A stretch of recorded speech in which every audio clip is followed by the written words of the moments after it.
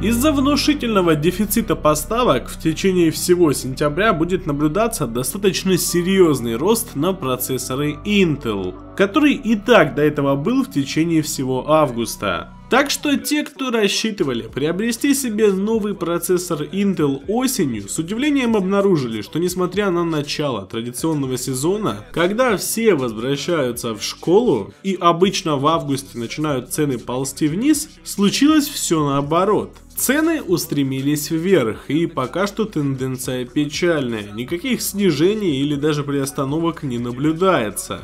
В первую очередь это отчетливо видно по динамике цен от месяца к месяцу на Яндекс Маркете. Там сейчас как раз таки есть такая возможность и это очень удобно. Да, никто не спорит, в течение августа доллар действительно неплохо поднялся, но в то же время это тот самый месяц, когда все падает в цене. И на примере iPhone 7 это видно отчетливо. Даже курс доллара не помешал ему подешеветь. А взглянув, например, на i5 и Coffee Lake или же i7, мы видим явное подорожание. И в случае с i5 это случилось только в течение августа, так как, по всей видимости, их было больше на складах. А i7 начал дорожать еще в июне. И эту тенденцию не теряет. А в случае с августом к цене в среднем прибавилось почти 3000 рублей. Некоторые, конечно, уже побежали писать комментарии про то, что сравнивать iPhone 7 с процессорами Intel это не объективно. И я скажу, я и не сравниваю их, ребята.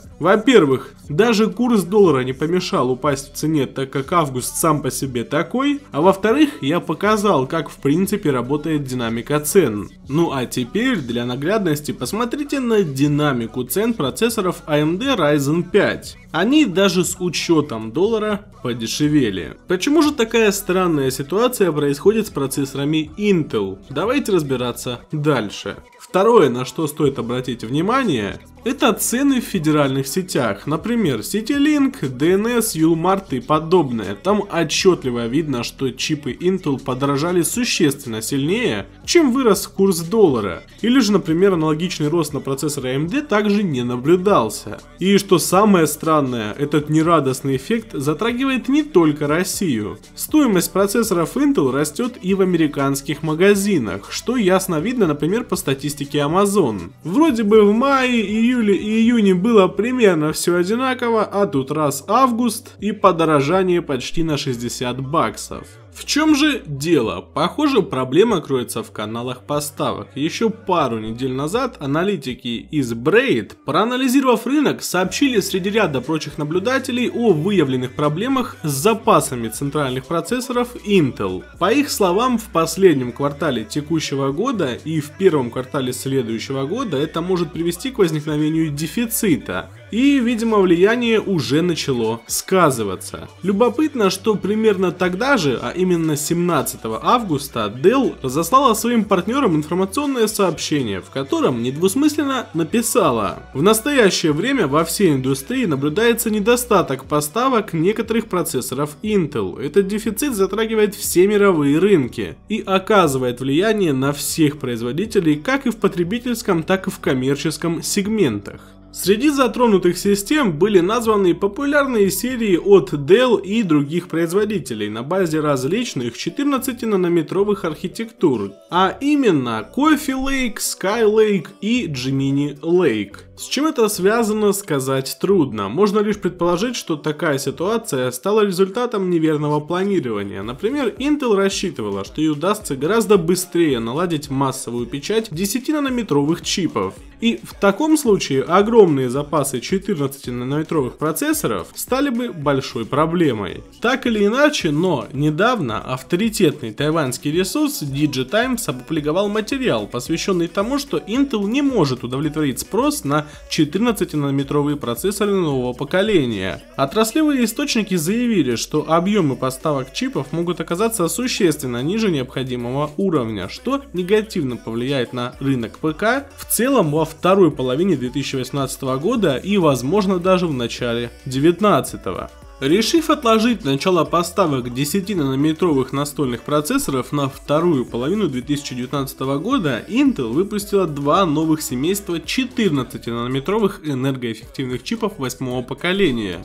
Core U Whiskey Lake и Core Y Ember Lake для тонких ноутбуков и планшетов. Некоторые ПК на базе этих новых чипов уже были показаны в Берлине, например, самый тонкий и легкий в мире 14-дюймовый ноутбук Acer Swift 7. Ну и конечно же ожидается, что в сентябре Apple представит новую серию MacBook, которые также получат эти новые процессоры. Председатель и исполнительный директор Acer Джейсон Чен отметил, что во второй половине года прогнозировался рост мирового рынка ПК, Однако трудности с поставками 14-нанометровых процессоров от Intel станут серьезной проблемой для производителей. Президент одного из ведущих сборщиков ноутбуков, CP Wong, также считает, что наибольшие опасения и неопределенность во втором полугодии вызывают показатели поставок новых процессоров Intel, а не торговая война между США и Китаем. Причем дефицит процессоров уже сказывается на снижении доходности. Отраслевые источники DigiTimes уверены, уверены, что дефицит процессоров Intel определенно негативно отразился на поставках почти всех компаний на рынке ПК, и по всей видимости такая ситуация сохранится до конца года. Другим фактором неопределенности на рынке ПК остаются курсы валют ряда азиатских стран